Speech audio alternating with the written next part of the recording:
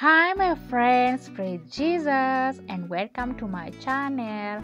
So, today I'm showing you how I make my onion juice treatment for my hair. And for this video, I'm using the two onions. And for the time I have been using onion juice on my hair, I can confidently recommend and just testify about onion juice. Onion juice helps in promoting hair growth. Onion juice helps in uh, controlling hair breakage. My hair doesn't break so often as it used before, and I have seen my hair increasing in length and my hair is shiny my hair has good hair elasticity. My hair is very clean. The scalp is like i don't have issues with the scalp so if you have issues of scalp like uh, dandruff itching scalp onion juice will really help you. Like this onion juice is just so amazing for me i like just uh, i just like to grate the onions as you can see. I know some people would uh, say blend but for me blending i think for me it's not good because i think when i'm blending it forces me to add in something like water and i don't like it. I just want to get the real juice from it. So for me to grater is my option so let me know what you think about this video in the comment section below. Have you ever used onion juice or are you planning to try it out?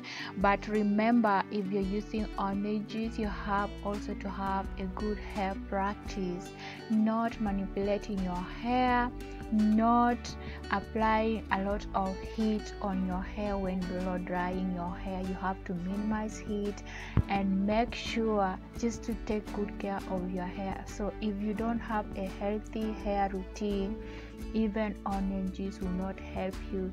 And also something that will really work best for this uh, method is consistency.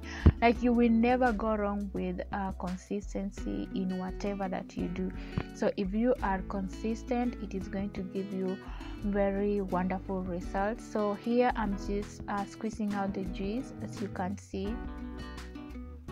So this is a very a very quick and very easy process as you can see. So i'm just squeezing out the juice.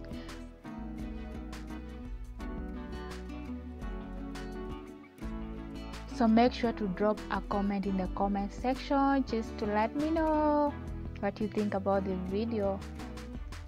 And after finishing that process um, i have added olive oil and castor oil in that little bottle there. So that is a mixture of castor and olive oil.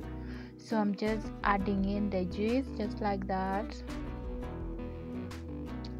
then i shake it then just put it in hot water just to make the oil and the juice to mix.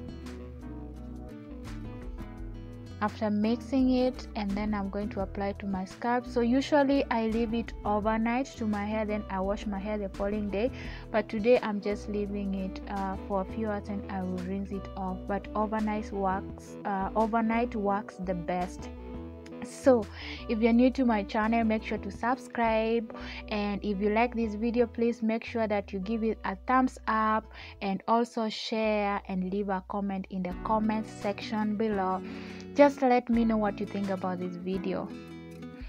So i'm just massaging my scalp as you can see. And i will cover it with a plastic cup. Then i will just let it sit for a while. Then i will rinse it off later so thank you so much for watching my video to this far. I really appreciate and i do not take it for granted. See you in my next one. Bye bye